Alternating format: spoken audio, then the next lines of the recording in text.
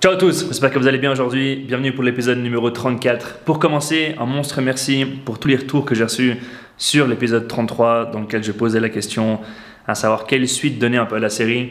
Il y a plein de personnes qui m'ont fait des retours super, super constructifs. Donc un monstre merci pour ça, vraiment. Ça a été très utile. Effectivement, je pense partir sur un mix de contenu euh, vlog, on va dire, où ça bouge plus et du contenu peut-être plus spontané, peut-être plus face caméra, comme justement l'épisode 33, si vous ne l'avez pas vu, il s'affichera là en haut. Mais euh, merci vraiment du fond du cœur, merci beaucoup, ça m'a bien aidé, ça m'a encouragé aussi dans cette direction. Et c'est peut-être, je, je pense pas que je suis le seul à sentir ça, mais quand je crée du contenu, peu importe le réseau, très souvent on aime bien essayer un petit peu de, voilà, de, de, creuser la réflexion pour être sûr que ça apporte de la valeur, pour être sûr que ce soit dit de la bonne façon, de la bonne manière.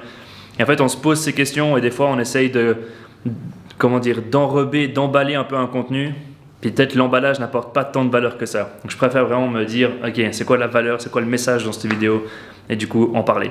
Pour aujourd'hui, euh, ça va être un peu un petit mixte entre vous montrer un petit peu une update à l'agence. Je suis en train d'optimiser à fond le, système de facturation. Après, on doit aller shooter à Lausanne euh, pour les pulls d'air. On va les mettre en ligne euh, sur le site dans les prochains jours. On a pris un peu de retard à cause du Covid, vu que j'ai eu le Covid pendant l'instant, mais ça va être fait normalement d'ici demain ou au plus tard, la semaine prochaine, ils seront en ligne. Et on va faire une sorte de vente flash où pendant X jours, ils seront disponibles sur le site. Et après, fini pour cette édition. Donc c'est cela avec le devant d'air. Et dans le dos, vous l'avez déjà vu, avec la tête de mort vraiment trop trop stylée. La caméra est lourde.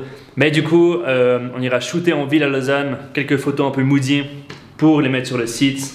Il y a quasiment tout qui est prêt. C'est cool. Et j'ai envie qu'on parle en fin de vidéo de comment réussir à fixer ses tarifs. C'est une question qui ressort très souvent. Euh, dès qu'on se lance, forcément qu'on se demande à quel prix est-ce qu'on devrait être. Est-ce qu'on devrait être cher, pas cher? Est-ce qu'on devrait commencer à bosser gratuitement? Est-ce qu'on devrait faire des prix cassés pour commencer? On parlera de ça un peu. Je vais expliquer un petit peu les erreurs que j'ai pu faire, euh, les, comment dire, les apprentissages que j'ai pu en tirer et aujourd'hui, comment est-ce que mon agence se positionne sur le marché. Mais du coup, comme vous le savez, dans la team, il y a François. François, c'est le responsable finance et comptabilité. Donc c'est un petit peu la tête mathématique de la team. Et euh, jusqu'à maintenant, c'est lui qui gérait tout ce qui était bah, la TVA, les impôts, le bilan, euh, la comptabilité. Et tout ce qui était facturation, pour l'instant, c'est moi qui le gérais plus ou moins. Parce que c'est une question aussi de rapidité, de flexibilité, où d'un coup j'ai une facture à faire, bah, je la fais vite. Mais là, je dois avouer que je voulais un petit peu tout mettre en place, créer vraiment un système euh, où j'ai le moins de tâches admin à faire. Et J'en parlais dans la vidéo de l'épisode numéro 32, si mes souvenirs sont bons, ou comment je m'organisais. Et dans cette matrice d'Eisenhower, il y a le dernier cadran en bas à droite qui dit que les tâches qui sont pas urgentes et pas importantes, il faut réussir à les déléguer. Et justement, dans ce travail-là, bah, je me suis rendu compte que tout ce qui était création de factures, ça me prenait du temps, ça me prenait du stress dans la tête. C'était pas important, c'était pas urgent. Du coup, je me suis dit, ok, faut que j'élègue ça. Du coup, maintenant, c'est François qui va gérer. Donc, on a fait un système assez simple je vous, j'arrive pas à vous montrer parce que j'ai un modèle qui a été fait, qui est basé sur un client qu'on a actuellement. Mais pour vous dire très brièvement les choses, dès qu'un client euh, signe le bon pour accord, le process il est simple, c'est que maintenant dès qu'on voit un client, on lui fait une proposition euh, à laquelle il y a un bon pour accord qui est joint. Et du coup, si euh, l'offre lui convient, il nous signe le bon pour accord. Mais du coup, après, moi, je dois créer une facture. Donc là, maintenant, j'ai créé un modèle d'email. Je le mettrai maintenant à l'écran avec les parties sensibles floutées. Mais en gros, j'envoie ce mail à François qui lui pourra reprendre les infos que je lui ai envoyées pour établir une facture qui est elle directement intégrée dans un système comptable en ligne. C'est un software qu'il a qui gère la comptabilité. Et du coup, il peut établir la facture, il peut l'envoyer directement au client. Il a un modèle de mail qui est déjà préparé aussi. La facture est envoyée au client. Après, le client la paye idéalement. S'il ne la paye pas, bah, après il a plusieurs modèles de rappel à envoyer au client. Et après on a à côté un document reporting qui en gros euh, nous indique un petit peu les factures qui sont en cours, les factures qui ont été payées, les factures qui n'ont pas encore été payées, les factures qui sont en retard au niveau 1, 2, 3. Comme ça on a vraiment un suivi H24 de ce qui se passe. Et j'en parlerai sur une autre vidéo, parce que c'est un sujet je pense qui mérite vraiment d'approfondir un petit peu justement le sujet. Mais c'est la facturation et le paiement c'est clairement le nerf de la guerre pour beaucoup de business. il y a plein de boîtes qui claquent, il y en a plein, plein, plein qui meurent parce que euh, voilà, elles ont plein de factures qui ont été envoyées, elles attendent beaucoup d'argent, mais les, clients ne payent pas à temps, les clients payent en retard. Et bah, des fois, on est un peu à flux tendu et ce retard de paiement dans les factures peut tuer littéralement une boîte. Mais j'en reparlerai dans une autre vidéo. Mais je suis trop content parce que ça fait un petit moment que je me suis dit que la facture en elle-même devait aussi embarquer un peu les gens dans l'univers d'air, montrer que c'est pas une facture standard. Jusqu'à maintenant, c'était un truc tout simple, écrit, avec, euh, il n'y avait rien de spécial, c'était juste euh, facture, numéro de la facture, montant, merci de payer sur le compte XY. Voilà, c'était pas vraiment d'air, mais là, on a bossé sur une facture, donc c'est un modèle. Voilà la facture. Donc on a le même dessin que sur le site web, une petite phrase, nous sommes très reconnaissants de la confiance que vous nous avez accordée, avec en haut les infos de l'agence. Et en fait, pour que ce soit simple, ça, c'est un modèle qu'on a créé sur Word. Et du coup, François, il a ce modèle. Et en fait, sur la partie du milieu, ici, où c'est vide, lui, de son côté, il a créé un document Excel qu'il a intégré sur cette facture. Et du coup, dans le mail que je lui envoie, il reprend les infos que j'ai envoyées, il les met dans le document Excel. Ça génère une facture, il l'imprime pour nos documents et il l'envoie directement au client. Du coup, je vous jure, dans ma tête, là, c'est trop vide, c'est trop vide. Et vraiment, il me faut très beaucoup de choses pour que ça me stresse. Je peux avoir zéro thune sur le compte, je peux avoir 50, 100 000 francs de dette. Vraiment, ça me stresse pas. Je sais que je vais assurer, que je vais gérer, je vais tout faire pour que ça fonctionne et j'ai confiance. Mais tout ce qui est admin, tout ce qui est compta, tout ce qui est courrier, c'est un truc qui m'angoisse, je vous jure. Je peux recevoir maintenant un rappel de paiement, je peux recevoir maintenant, je sais pas, euh, mise en poursuite ou peu importe quoi. C'est un truc qui me stresse, mais qui me prend la tête, mais de ces points. Et là, d'avoir François, je vous jure, ça m'enlève une pression, ça m'enlève vraiment un gros bloc dans ma tête. Et du coup, ça m'allège à fond et ça me permet vraiment d'être focus sur les bonnes choses et de ne pas perdre de temps sur des choses qui sont pas importantes et pas urgentes. Mais voilà pour la partie paiement. Maintenant, on va partir à Lausanne, à la cathédrale. C'est un quartier qui est très moody, que j'aime beaucoup. Et on va aller prendre plusieurs photos pour la marque d'habits d'air. J'ai vraiment, vraiment hâte de le lancer sur le site. Et Neo, j'en ai déjà parlé, mais le but c'est de faire zéro marge. Donc on est en train de négocier maintenant avec plusieurs imprimeries pour avoir le prix le plus bas possible, pour vraiment payer le moins cher possible. Le but c'est pas de faire de l'argent sur ces habits, c'est juste de, de, motiver un max de personnes et vraiment de se dire, dès qu'on porte ce pull, on est ambitieux, on est motivé et on a la confiance et le courage pour aller au bout de nos ambitions. Et surtout, on ose.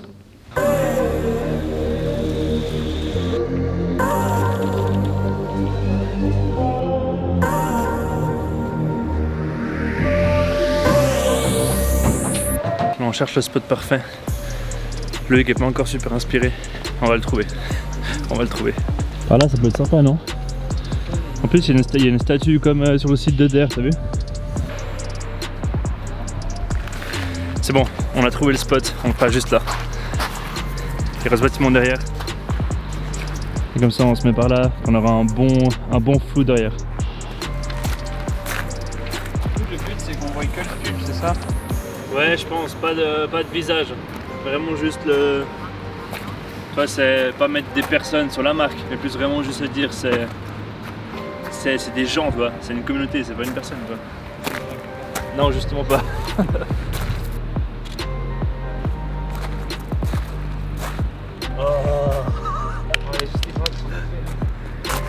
C'est lourd pour l'instant, c'est lourd. Bon, pour l'instant, ça avance bien.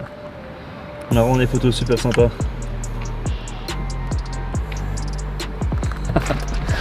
Maintenant, on, a, on doit encore faire quelques séquences un peu plus vidéo pour avoir une sorte de vidéo sur la page, à peine on tombe sur la page shop.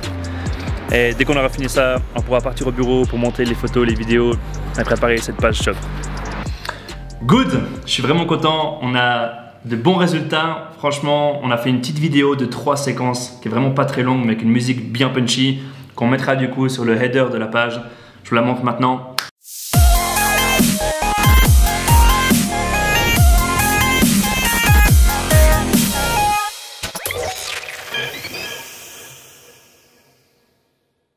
J'espère que vous la kiffez autant que moi. Dites-moi en commentaire si vous la kiffez. Et on a fait aussi d'autres photos carousel qu'on mettra dans la description du produit qui s'affiche maintenant à l'écran.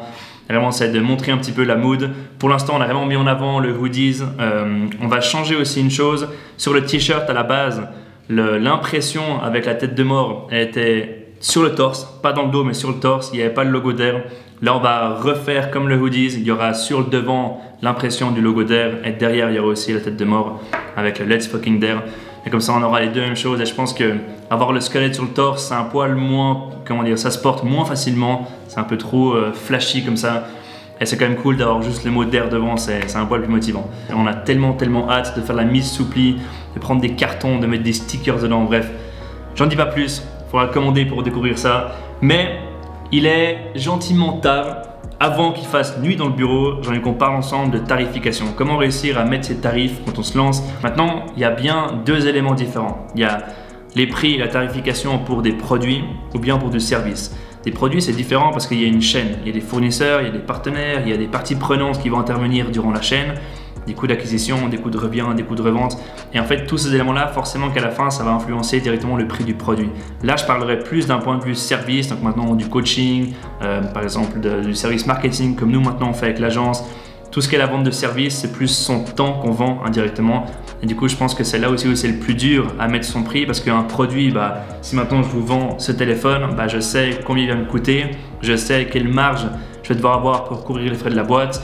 Et du coup, c'est souvent facile pour mettre son prix comme ça. Un service, c'est un voile plus dur parce qu'on vend son temps et c'est dur de se valoriser, c'est dur de voir combien est-ce qu'on vaut sur un travail.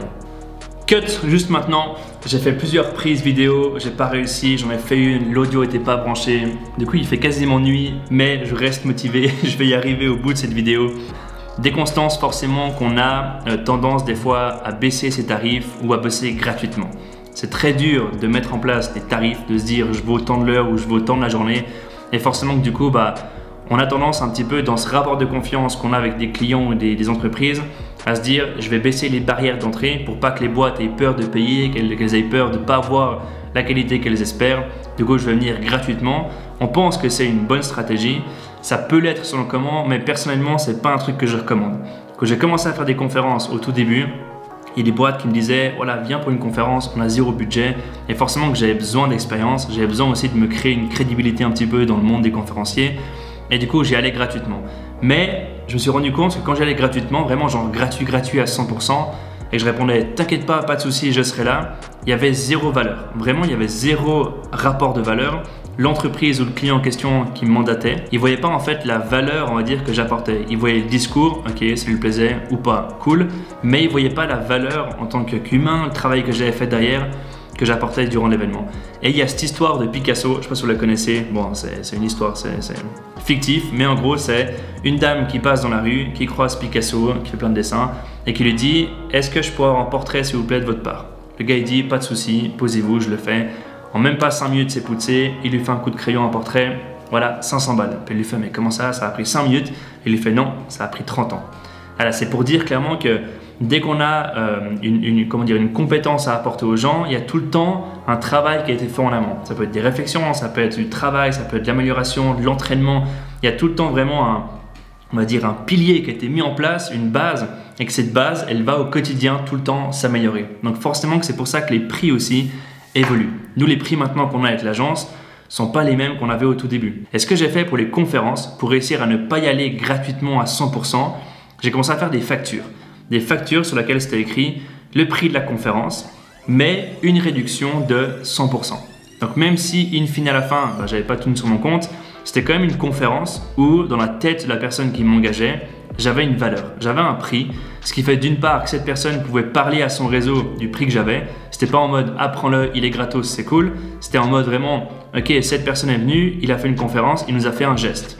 Et du coup, c'est vraiment deux approches différentes. Et dans le bouche-oreille, ça a été très bénéfique pour moi. Et ensuite, l'autre part, dans ma tête, quand j'allais à une conférence, quand j'étais sur scène et que je parlais, j'étais pas là pour rien. Dans ma tête, j'étais ok, pour moi, c'est du marketing. Pour moi, le gars a une feuille qui dit que je suis à temps de l'heure, je viens parler, c'est du marketing, je prends mon temps, j'investis ce temps-là pour réussir à me créer cette confiance, cette crédibilité et montrer aux gens que je fais des conférences. Maintenant, je pense que pour fixer ces tarifs, il y a selon moi quelques points essentiels à prendre en compte. Le premier, ça va être les concurrents, de voir un petit peu ce qui se fait dans votre marché pour ne pas être complètement à côté de la plaque. Si maintenant, par exemple, vous êtes dans le domaine de la santé, euh, du coaching sportif et que vous voyez que c'est environ, je sais pas, 100, 200 euros de l'heure, puis vous arrivez avec un tarif à 500 euros de l'heure, vous serez vraiment hors de la plaque. Il n'y a, personne qui va comprendre. Si c'est pas justifié, les gens vont pas réussir à comprendre et du coup, il y a très peu de clients qui vont venir. Ensuite, comme deuxième point à prendre en compte, c'est vos charges. Vous avez forcément des charges, forcément des coûts, votre loyer, votre assurance, euh, votre train de vie. Et il faut forcément réussir à couvrir ces coûts. Si maintenant vous avez un tarif qui n'est pas assez élevé pour couvrir ces coûts, bah ça marchera pas.